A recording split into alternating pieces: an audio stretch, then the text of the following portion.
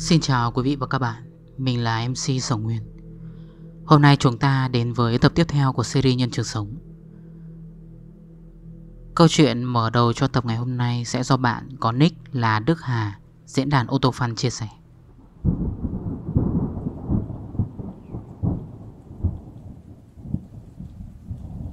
Năm 2003 Tôi có tham gia một công trình xây dựng Ở miền Trung Với vai trò tư vấn giám sát.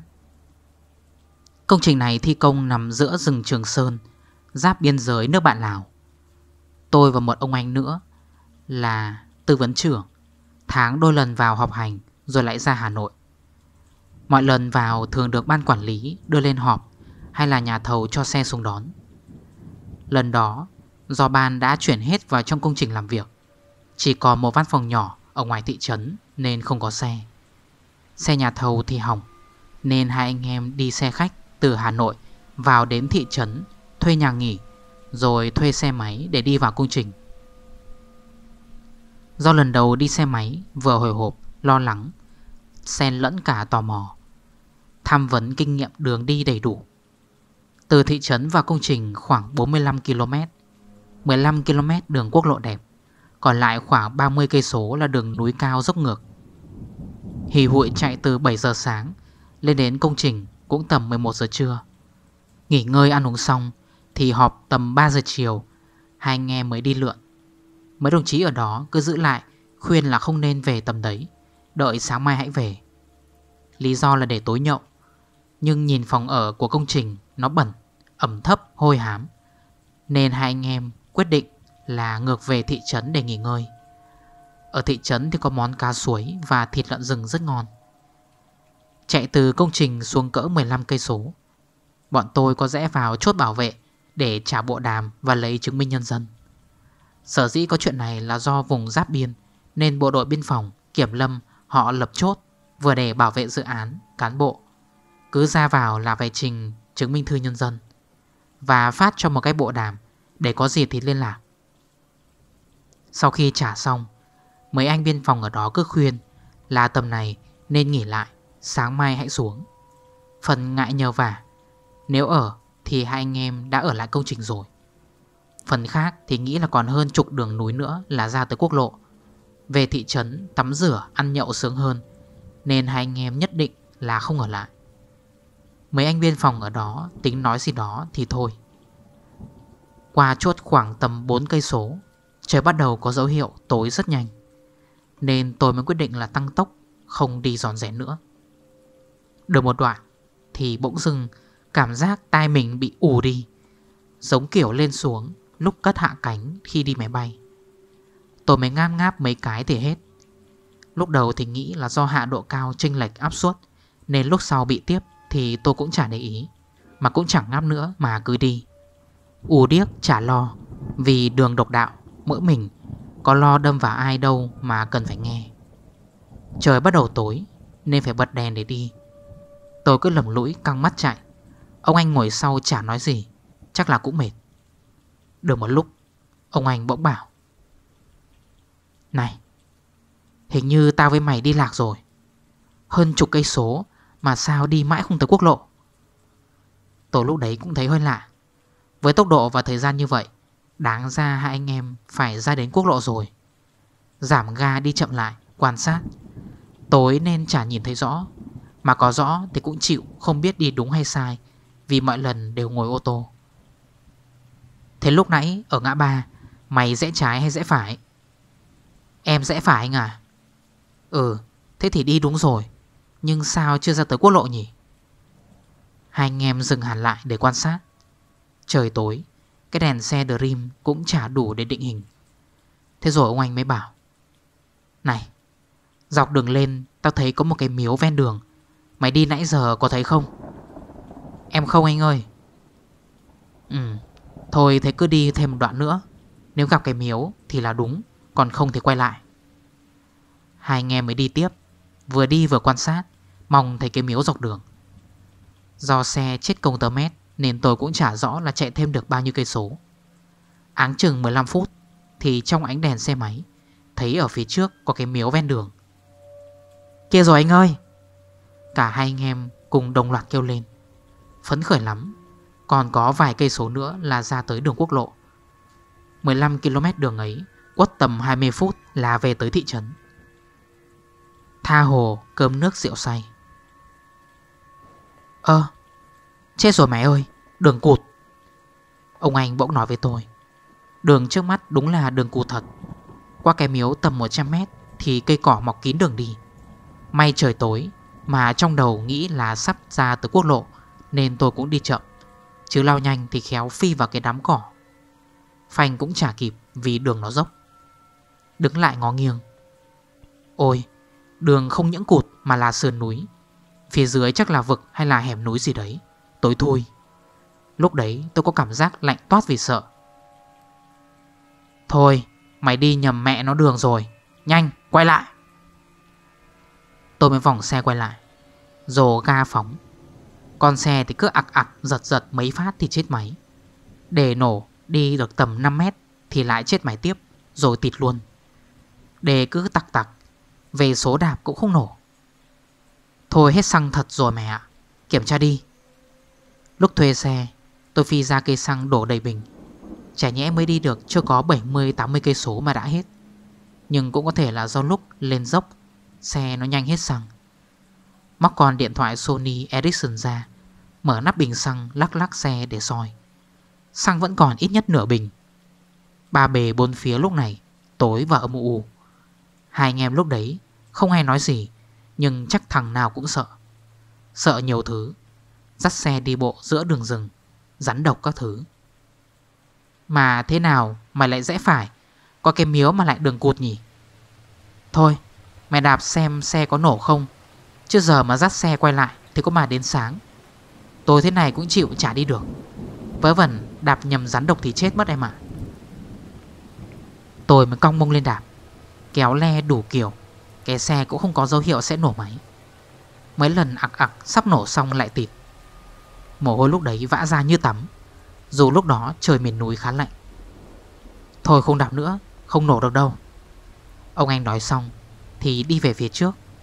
Tôi lò dò dắt xe ở phía sau. Ông anh đấy, lúc này tầm ngoài 50 tuổi, Cũng trình chiến khắp trong ngoài Bắc Và có máu đi công trình. Đến trước cái miếu ven đường, Ông ấy dừng lại.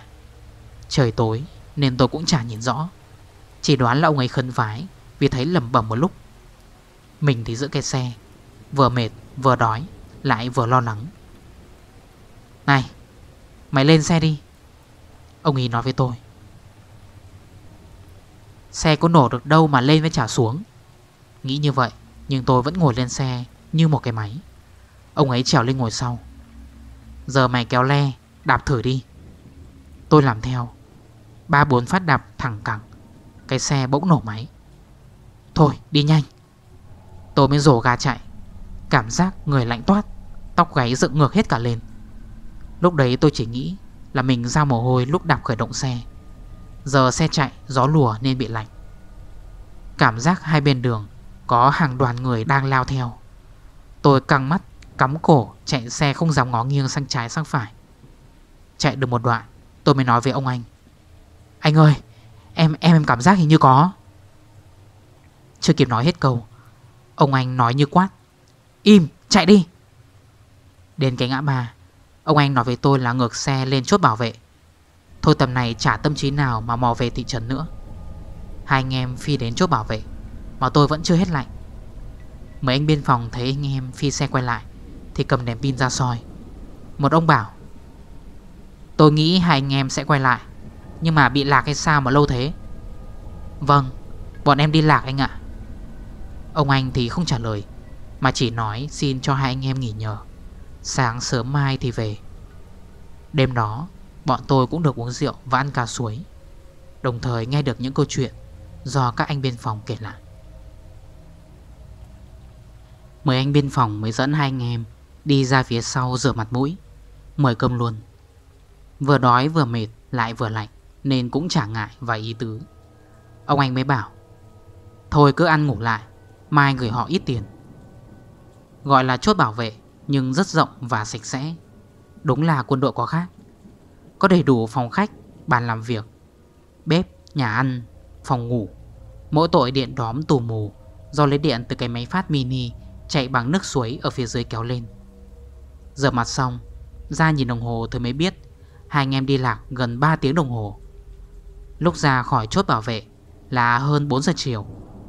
Mà lúc hai anh em quay lại Là đã 7 giờ tối. Tôi hỏi một ông anh biên phòng.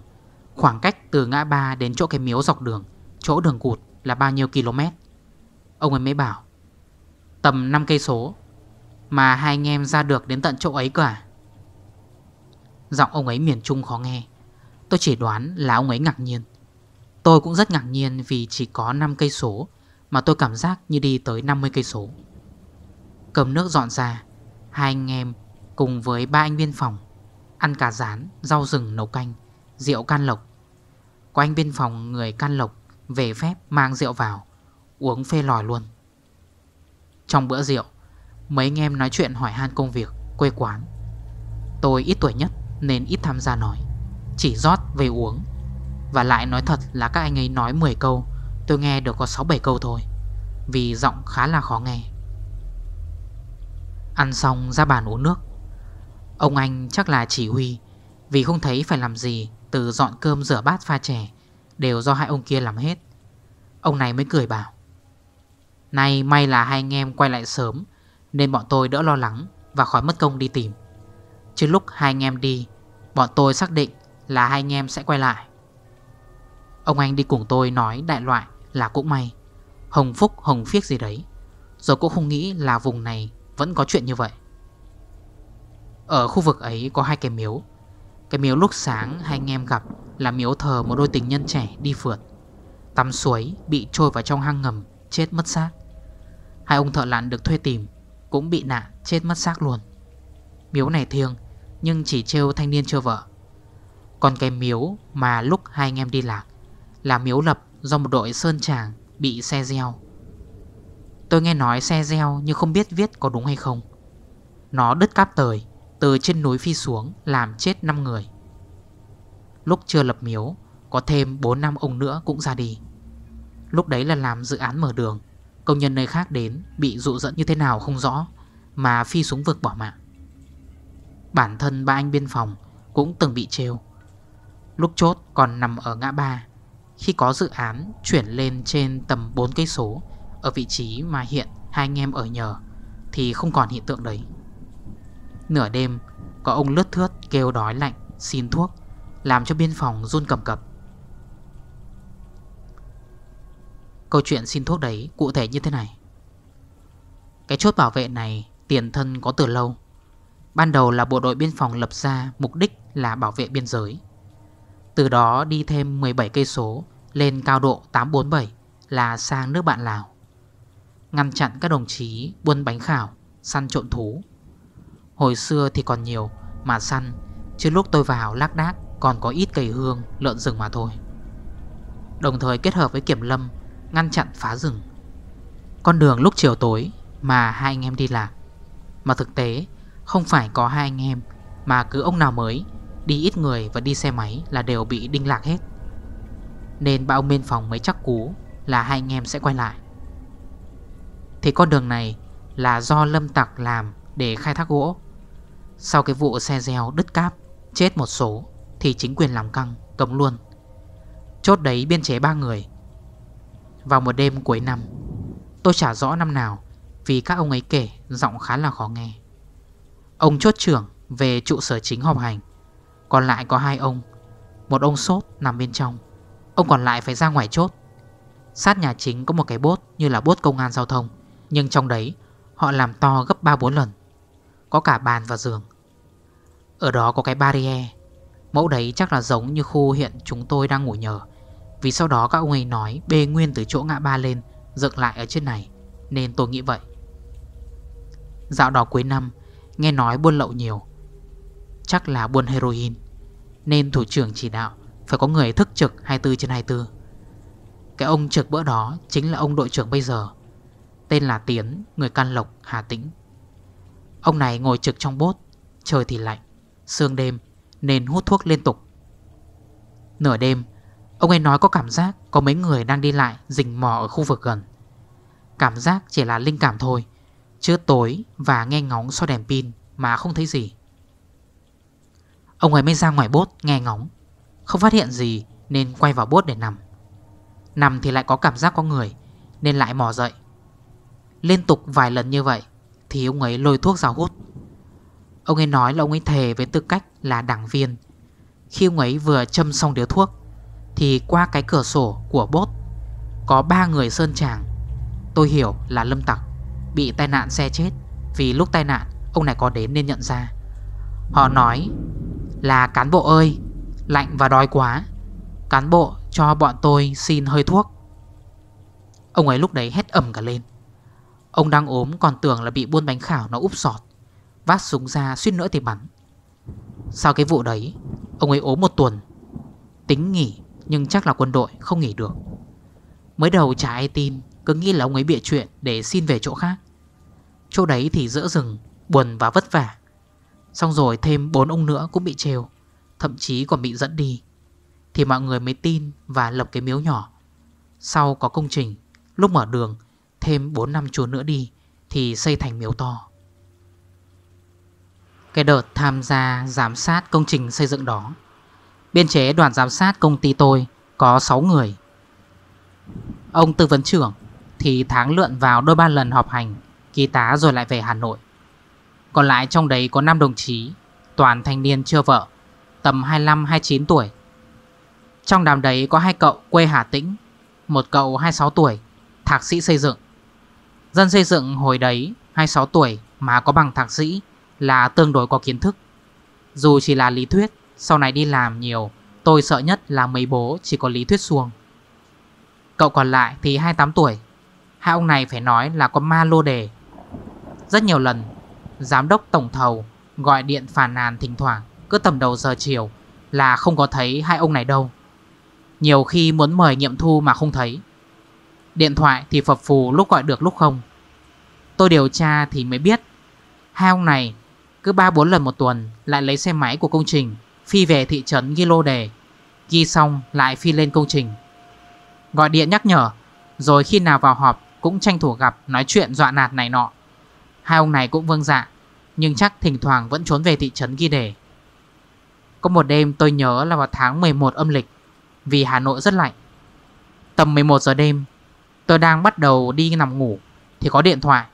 Đầu dây bên kia là ông giám đốc tổng thầu. Này, Em ngủ chưa? Em chưa, Có chuyện gì thế anh? Tôi trả lời và cảnh sát hỏi luôn, Vì chưa thấy ông này gọi điện tầm nửa đêm kiểu này. Chắc là có chuyện gì rồi? Ông vào mà xử lý quân ông. Thằng Bình nó đang làm loạn hết cả ban điều hành lên đây này.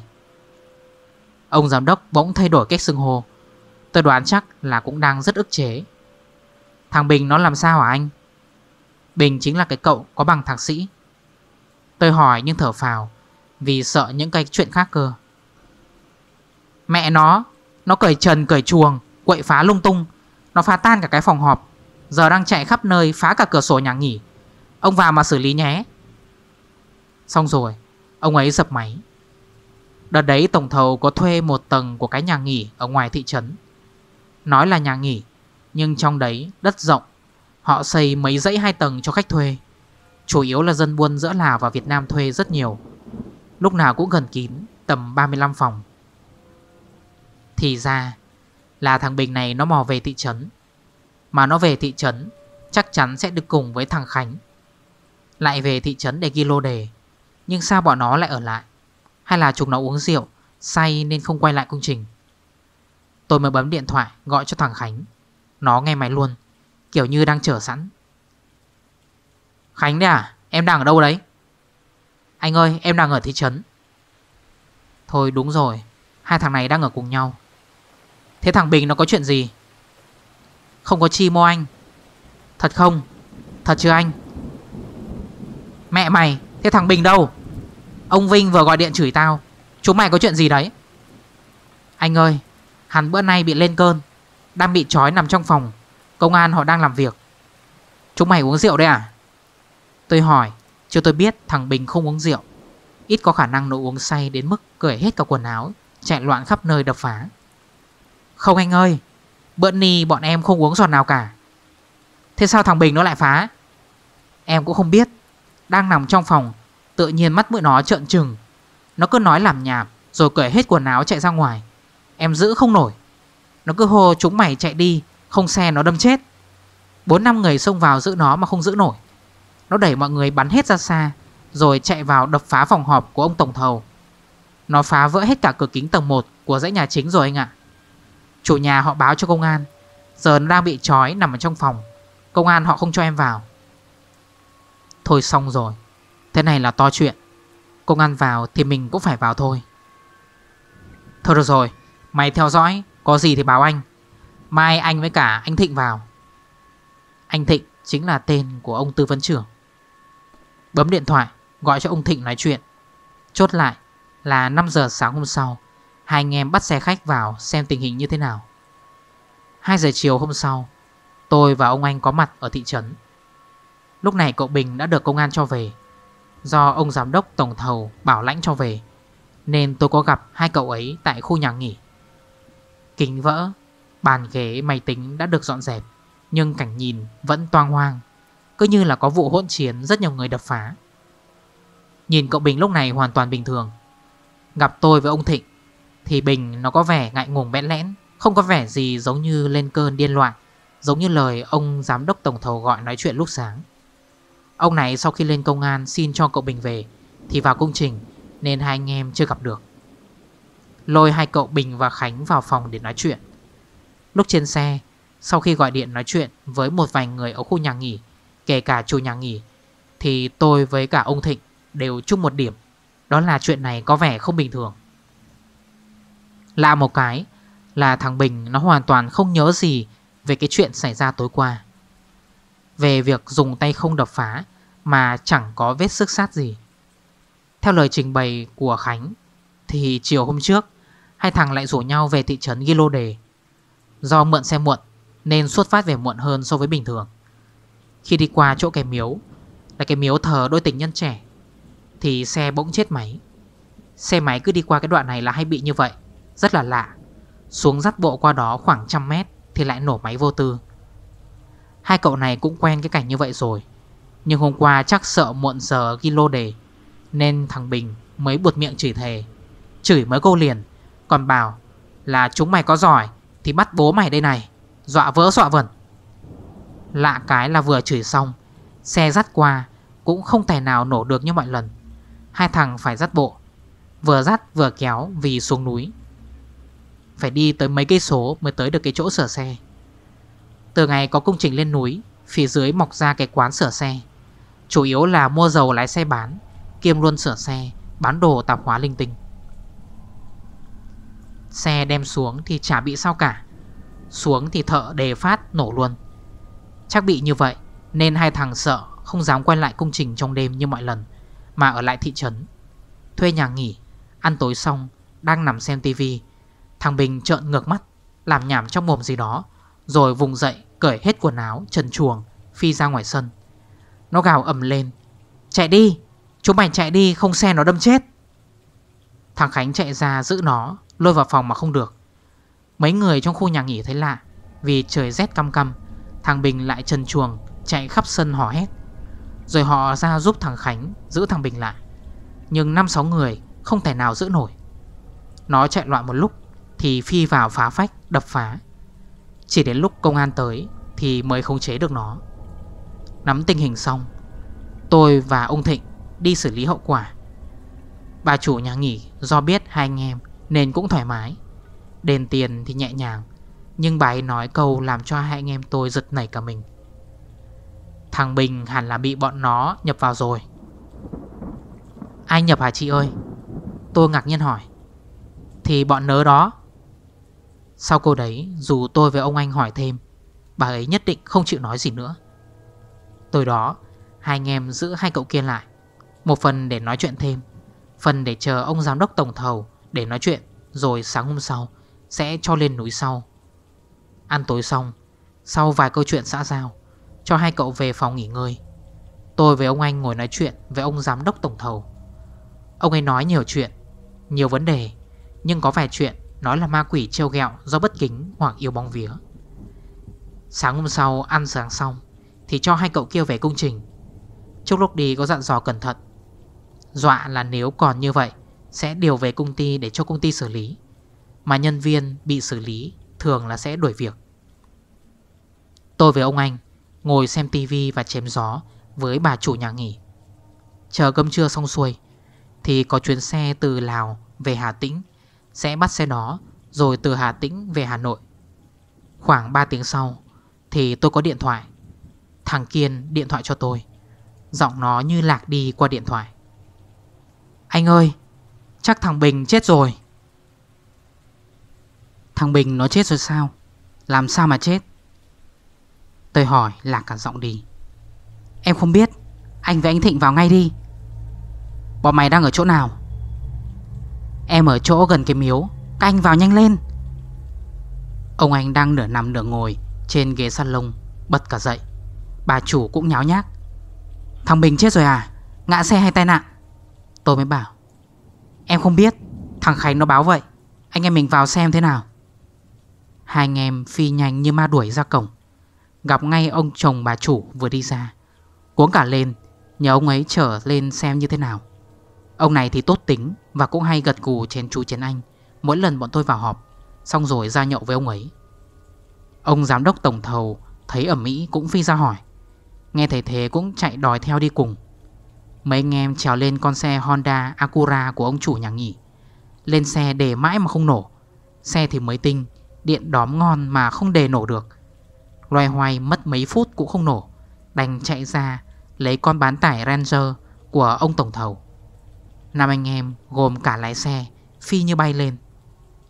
Đến nơi, Thấy thằng Khánh mặt mũi sám ngoét Đang khóc mếu ngồi bệt ở bên vệ đường. Cái xe máy thì đổ trống trơ Thằng Bình đâu? Mọi người không thấy thằng Bình Thì đồng loạt hỏi thằng Khánh. Nó ở dưới kia kìa. Mọi người nhìn theo tay thằng Khánh chỉ. Phía dưới là dòng suối, Nơi gần cái hang mà đôi tình nhân đi tắm suối Bị cuốn vào hang mất xác. Từ trên đường có một cái dốc toàn đá lầm chởm. Muốn xuống thì phải bỏ theo từng phiến đá để xuống. Nhưng nhìn thì không thấy thằng Bình dưới đấy. Khéo nó ngã lăn xuống suối mà chết rồi. Sao nó lại xuống dưới đấy? Chúng mày ngã xe nó lăn xuống à? Không anh ơi, Nó tự nhảy xuống. Mẹ nó nhảy xuống á, Nhảy kiểu gì?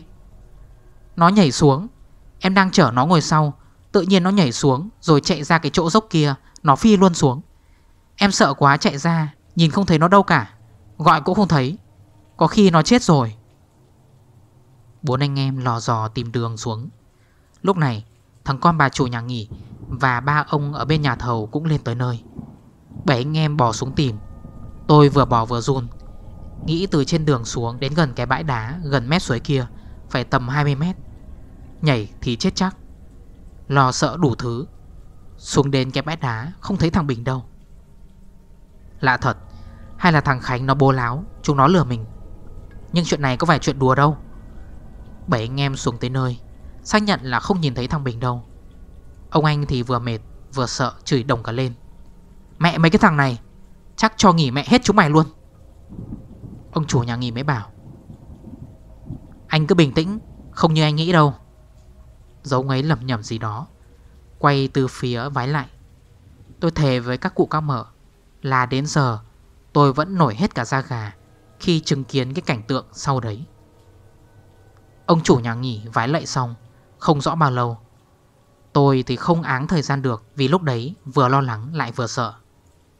Bỗng dưng, Có tiếng cười man dại Từ phía sau tảng đá to như cái nhà. Thằng Bình chân chuồng, Nhảy như con khỉ từ tảng đá này qua tảng đá khác. Mỗi tảng đá cách nhau cỡ 2 mét, Mà nó chạy nhảy vù vù như không. Tôi sợ, Cả mấy ông đi cùng cũng sợ, Nên không ai nói được câu nào Hay có phạt dạ gì. Cứ đứng nhìn chân chối cái cảnh này. Nó nhảy vèo vèo, Đã ra đến gần giữa bãi đá. Nó chỉ nhảy thêm vài phát nữa là ngã xuống suối. Mùa đông, Nước không chảy xiết như mùa mưa. Gần đó có cái hang ngầm, Nên nó xoáy. Ngã xuống đó mà không biết bơi, Thì chắc chết. Bình ơi! Định mệnh mày, Bình ơi! Trên đường, Thằng Khánh nhìn thấy thằng Bình nên gào lên gọi. Bảy anh em bừng tỉnh cũng gào lên. Thằng Bình thì như điếc, Nó cười man dại, Nhảy thêm vài bước nữa Thì nằm vật ra một cái viên đá lớn, Nằm im ở đấy. Bảy anh em mò mẫm mãi Mới ra đến nơi. Người nó lúc này lạnh toát, Trắng bệch, Mắt trợn ngược lên nhìn rất sợ. Ông chủ nhà nghỉ, Cởi áo khoác, đắp lên cho nó. Thằng lái xe thì gọi thằng Khánh, Mở cửa xe, Lấy thêm cái chăn len. Đây là thói quen của tụi lái xe công trình, Hay có chăn trên xe để ngủ. Quấn thằng Bình lại. Lạ nhất là lúc khiêng nó. Thằng này cao mét 65 Nặng cỡ 60 cân thôi mà bốn anh em không tài nào khiêng nó Ra khỏi hòn đá xuống dưới Để lôi nó lên. Cứ như nó là thỏi sắt Bị cục nam châm là viên đá hút vào. Mà rõ ràng là trước đó ít phút, Ông chủ nhà nghỉ còn bế nó lên mặc áo và cuốn chăn. Tôi đứng dưới Nên không rõ mọi việc cụ thể như thế nào. Thế rồi đột nhiên thằng Bình vùng dậy. Dù bị cuốn chăn, Nhưng nó vẫn nhảy vù phát ra khỏi hòn đá. Nhưng chắc là do bị cuốn chăn vướng, Nó ngã bổ trừng xuống. Đầu va vào đá, Máu chảy be bét ra. Lúc này thì nó mới bị chảy máu, Còn lúc trước thì chả bị làm sao cả. Tôi mới rút cái khăn mùi xoa, Ấn vào vết thương cho nó. Nó mở mắt nhìn quanh rồi hỏi, Anh ơi, em bị sao thế? Mày bị ngã, nằm im đi. Hai ông anh sợ nó nhảy tiếp Nên túm chặt lấy nó. Thế rồi, cũng khiêng được nó lên xe để đưa đi viện. Vào viện khâu 6 mũi. Có điều lạ là khi đưa nó đi viện, Mấy người ở lại tìm khắp nơi, Nhưng không hề thấy quần áo của thằng Bình đâu. Tôi thì không thể hiểu nổi, Sao nó có thể nhảy từ trên đường xuống Mà không bị làm sao cả. Nếu đúng như lời thằng Khánh kể, Và cũng không thể tin nổi, Nó có thể nhảy qua những tảng đá Cách xa hơn tới 2 mét như vậy. Mà đá thì toàn là đá trơn. Kế tiếp sẽ là chuyện do cô Nguyễn Thị Lê chia sẻ vào tháng 3 năm 2024. Chuyện này xảy ra cách đây khoảng 20 năm. Trạm y tế nơi tôi làm việc lúc đó thì nhà nước chia tách phường, nên trạm y tế cũng được thành lập thêm để phục vụ cho phường mới. Lúc đó thì thiếu nhân sự trầm trọng, vì nhân viên cũng được chia tách ra cho trạm y tế mới. Khi đấy thì giám đốc trung tâm y tế có tuyển dụng thêm người mới để phục vụ cho người dân. Trạm y tế nơi tôi công tác có nhận về một nhân viên với chức danh là y sĩ. Cậu ta trình bày với ban giám đốc là nhà ở Cần Giờ nên qua lại bằng phà không thuận tiện. Còn vợ nhà ở Thủ Đức, xa xôi, nên xin được làm việc và ở lại trạm y tế vì không đủ tiền để thuê nhà trọ. Yêu cầu của cậu ta được ban giám đốc chấp nhận. Cậu này tên là Việt Anh. Vào thời đó chừng hơn 30 tuổi. Cậu ta đem cả vợ con về sống ở trạm y tế Lúc đầu người này than nghèo kể khổ, Nên xin ở lại trạm y tế. Nhưng thực sự là nhà bên vợ Đang làm thủ tục xuất ngoại, Định đi định cư ở Mỹ, Nên nhà ở Thủ Đức đã bán cho người ta Để chuẩn bị đi Mỹ. Gia đình bên vợ cũng thuê nhà trọ ở Thủ Đức Để chờ ngày lên đường. Vợ của cậu này thì là con nhà giàu, Tên là Ngọc Anh. Tối ngày chỉ ăn ngủ và thường xuyên tiếp bạn bè về Để bàn số đánh đề. Tôi thì có chơi thân với một người bạn tên Lan. Trước kia làm giáo viên, Nhưng vì lương ba cọc ba đồng Nên xin nghỉ việc ở nhà bán quán cà phê. Nói vậy, chứ bán cà phê chỉ là phụ, Chứ Lan có nhà cho thuê, Và hàng tháng được hai đứa con ở nước ngoài gửi tiền về tru cấp, Nên cuộc sống cũng dư giả Không phải lo cơm áo gạo tiền. Lan thường rảnh rỗi nên hay đến rủ tôi đi ăn uống, Và có gặp làm quen với cả Ngọc Anh. Người ta nói, Gần mực thì đen cần đèn thì sáng. Lan từ đó bắt đầu chuyển sang chơi đầy giống như là Ngọc Anh. Lúc thì họ đi đình, đi miếu. Lúc thì vào Nghĩa Trang để cầu cơ số đề. Có một lần, Tên Việt Anh kia Về Cần Giờ dẫn theo con theo. Còn vợ cậu ta thì ở lại trung tâm y tế. Trưa hôm đó có nhiều người đến tìm Ngọc Anh. Trong đó có Ngọc Mai là chị em song sinh với cả Ngọc Anh. Một người bạn trai của Ngọc Mai. Lan cũng đến đó vì nhà ở gần đấy. Họ vào phòng riêng ăn uống Bàn bạc với nhau. Sau đó Lan nói nhỏ với tôi là đêm nay Họ sẽ tổ chức mướn đỏ Để đi vào một nơi gọi là cánh đồng hoang Để xin số đề. 10 giờ đêm Họ bắt đầu đi tất cả là gồm 4 người Lan này Ngọc Anh, Ngọc Mai Cùng với bạn trai của Ngọc Mai. Ngọc Anh còn nói với tôi là tối về Nhớ mở cửa dùm cho cô ấy. Đêm đó tôi đang ngủ Nghe thấy có tiếng chuông gọi cửa liên tục Và gấp rút. Tôi vội ra mở cửa. Lúc đó gần 12 giờ đêm. Thấy có ba người mà không có Lan, Vì Lan đã về nhà rồi. Ngọc Mai với cả bạn trai, Chờ tôi mở cửa cho Ngọc Anh, Thì hai người đó cũng đi luôn. Ngọc Anh khi đấy vào nhà, Mặt mày xanh mét, Run lập cập, không nói ra lời. Tôi hỏi là sao về sớm vậy? Thì cô ấy nói là ghê lắm, Không nói được, Rồi chui vào trong phòng ngủ. Hôm sau là ngày Chủ nhật, Ngọc Anh bị sốt miên man. Thấy vậy, Lan có gọi điện cho Ngọc Mai Đến đưa Ngọc Anh về Thủ Đức. Lúc bấy giờ, Lan mới kể cho tôi nghe về cái câu chuyện đêm qua. Đoàn người đến nơi mướn người đưa đò sang cánh đồng hoang. Hình như là ở cầu Rạch Ông hay cầu Bà Tàng gì đó mà tôi không nhớ. Đến đó thì có hai người đưa họ đến cánh đồng hoang. Nơi đó là một con rạch lớn, Có một khoảng đất trống ở giữa con rạch Và người ta chôn ở đó bốn ngôi mộ một cái miếu nhỏ ở dưới gốc cây đa. Phía trong thì có một cái miếu khác, Thờ năm bà ngũ hành. Cái miếu nhỏ thờ vong của một thanh niên treo cổ, Chết ở trên cây đa. Và Ngọc Anh hay đến cái miếu của người này Để xin số đề, Vì họ đã đến đây nhiều lần. Ngọc Anh cũng từng trúng đề lớn nhiều lần. Ngôi mộ của thanh niên này cũng được chôn ở gần đó. Gần bên ngôi mộ này thì là mộ của một cô bé tự tử chết khi mới 15 tuổi. Và mọi người nói cô bé này cũng linh lắm, Cho số trúng hoài. Nhưng phải đi xin ban đêm thì mới linh hơn. Đoàn người đến cánh đồng hoang, Đốt nhang váy lại, Đem bánh trái ra cúng. Sau đó tủa ra xin số. Người thì xin ở năm bà ngũ hành, Người thì xin nơi ngôi mộ cô bé.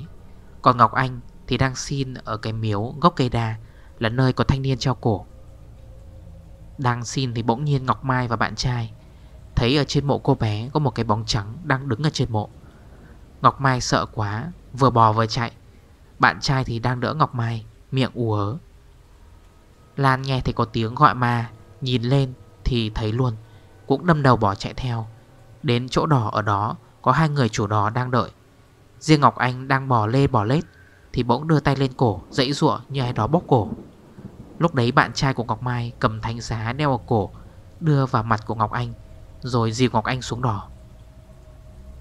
Khi người chủ đò đang vội vã trèo đi khỏi bờ đò 10 mét, Thì hồn ma cô bé cũng đứng trên mộ. Nhưng lúc này, Hai con mắt lớn như hai cái tô, Xanh lè sáng rực. Ngọc Anh nói là lúc nhìn thấy hồn ma cô bé Thì hốt hoảng, Nhưng lúc đó có một sợi dây đang siết chặt cổ cô ấy. Nếu không có thanh giá của bạn trai Ngọc Mai Thì sẽ không biết như thế nào. Từ đó, Đám người cũng không còn đến cánh đồng hoang để xin số. Và họ cũng thắc mắc là vì sao mấy lần trước đó không bị nhát, Mà lần này thì lại bị. Vợ chồng nhà Ngọc Anh với Việt Anh Sống ở trạm y tế được gần một năm, Thì có một hôm xảy ra một chuyện khác như thế này. Hôm đó là thứ bảy, Nên được nghỉ làm việc. Ngọc Anh đi về Thủ Đức mấy ngày rồi chưa về.